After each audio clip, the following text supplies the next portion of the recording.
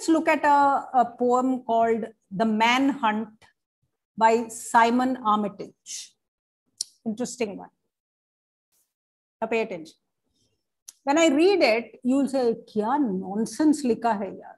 You'll think like that because that's what it is. It's completely foxing. When I read it first, I said, what is what's he saying? But I never, I do, I get, I get, I feel excited. You say, let's crack it. Your attitude is most important. I don't know what what रब ऐसा करके छोड़ दिया उसको let's take something easy let's do daffodils किया तो फिर गया you'll never see this okay let me read it for you after the first phase after passionate nights and intimate now when i'm reading i'm already thinking देखो after after दो time आया है i'm already thinking you should that's the annotation annotation is where it is running in your mind even as you're reading it for the first time after the first phase after passionate nights and intimate days. Oh, passionate, intimate. To me, it sounds like sex.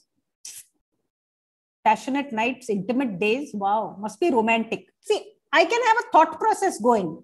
You should not read without a thought process in your head, right?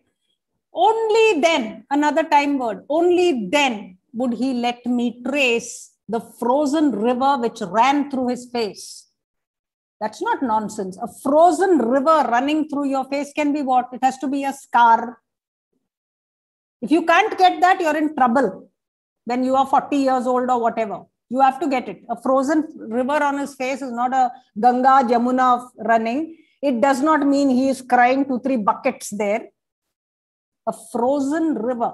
He only then he would let me trace after passionate nights and days what does it mean? Couple has been around for a while, and now they now he, only now he's allowing her to touch his scar. That is what it means. I, I'm getting it straight away. Only then, see that only then getting repeated. Anaphora. I'm already thinking in my head. ये देखो anaphora है, ये देखो anaphora है, या epiphora है. I'm thinking. You should too. Only then would he let me explore the blown hinge of his lower jaw. See this hinge? This is a hinge. Blown hinge of his. Who do you think this guy is? Has to be a soldier, no? हम आप जाके we don't get our jaws blown. Or he has to be a thug, street thug in a fight. जो भी है अपन को पता चलेगा अभी when we read. And the handle and hold the damaged porcelain collarbone and handle and hold. Who is going to handle and hold? This woman, whoever she is, going to handle and hold the damaged porcelain. That is, he's allowing her to trace, allowing her to explore, allowing her to handle and hold the damaged porcelain of his collarbone. See the word porcelain. Very interesting word. China.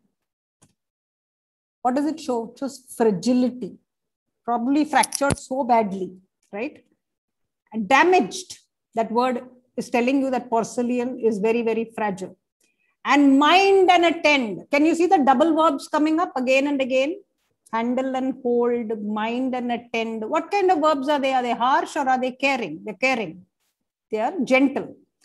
The fractured rudder of shoulder blade. I'm already getting my cluster. Are wah, damaged hai, fractured है blown है frozen river all kind of things are there frozen river of course is got a metaphoric ring when I am reading five line I already made up my mind की कौन सा कौन सा device आ गया है इसमें।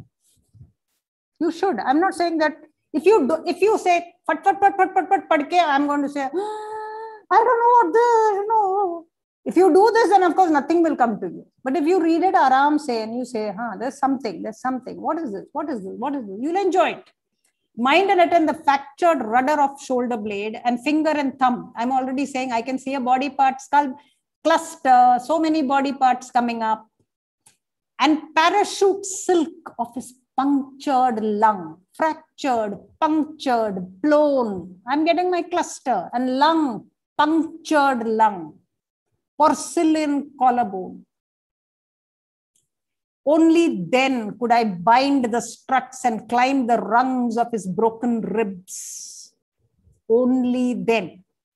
After so long, He allowed me to, and only then could I bind the struts and climb the rungs of his broken ribs.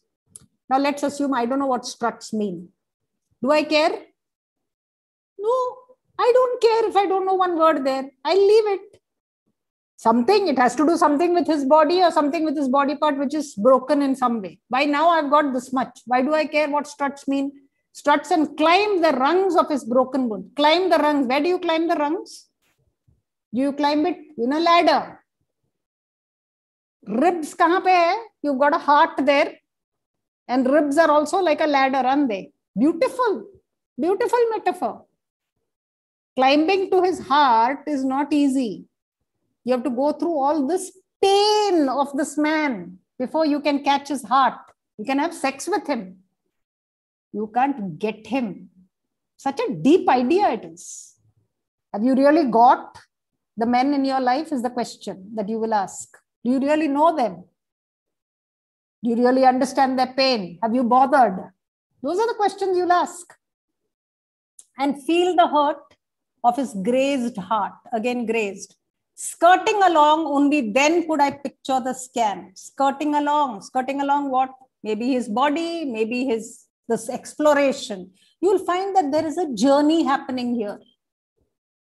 Different words for the journey. Journey is not on the road. Journey is apparently through the body, but there is much more to it. Skirting along, only then I could I could I picture the scan, the fetus of metal beneath his chest. Can you see the war coming up? Bullet.